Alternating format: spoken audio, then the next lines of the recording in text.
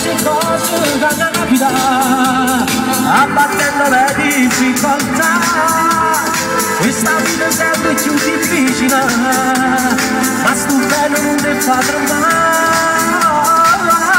sempre più innamorare